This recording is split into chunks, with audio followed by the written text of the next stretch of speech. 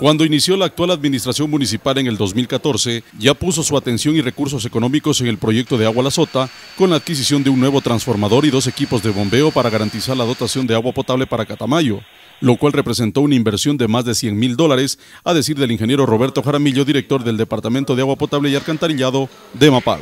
Es una parte muy importante eh, donde se nota claramente que sí hay una inversión. Producto de ello es que el abastecimiento está siendo normal en la ciudad.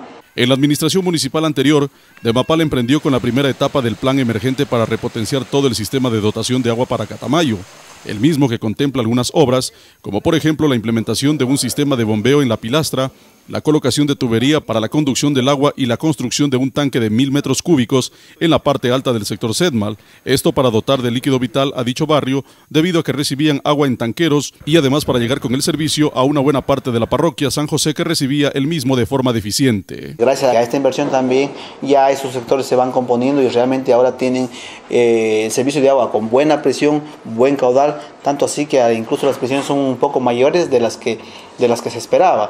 El director de Demapal indicó que además se implementó el pozo profundo ubicado en el sector Buenos Aires, con el cual se incorporan 10 litros por segundo al sistema de agua potable, considerando también las redes de distribución.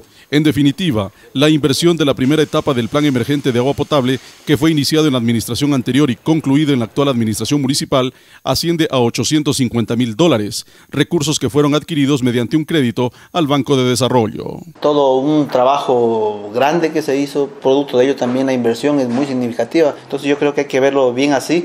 Pero el mejoramiento de todo el sistema de agua potable de Catamayo no termina ahí. El ingeniero Roberto Jaramillo informa que se viene la segunda etapa, con el mejoramiento de la captación de la sota, como también en la planta de tratamiento de la pilastra, para así servir a otros sectores como San Antonio y Trapichillo.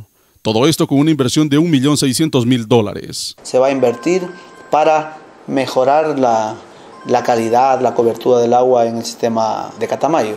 En el año 2005, Catamayo recibía 32 litros por segundo. En la actualidad, Demapal distribuye 60 litros por segundo a la población, es decir, que lo realizado ha permitido un mejoramiento de todo el sistema de agua potable. Y ante lo que aseguran ciertos ciudadanos sobre que no se ha hecho nada, con esta nota informativa queda aclarada esa aseveración. La inversión está hecha y está para demostrársela en cualquier momento a cualquier persona que lo necesite. Para el informativo, Acción Municipal Eduardo Valdivieso.